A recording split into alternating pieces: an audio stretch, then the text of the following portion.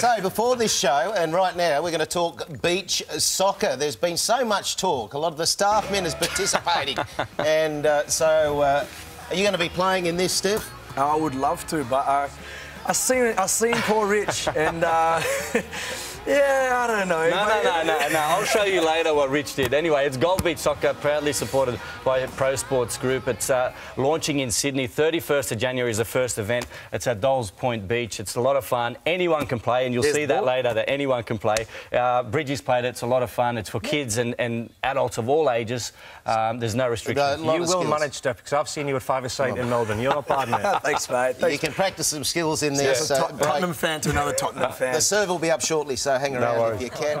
Now, talking of beach soccer, we've got a little bit of footage of one uh, Richard Callander, and there he is. What a header! That, look at that athleticism. Richie, I told you. I told you it was for anybody. Cut, cut now, cut it out, cut it out.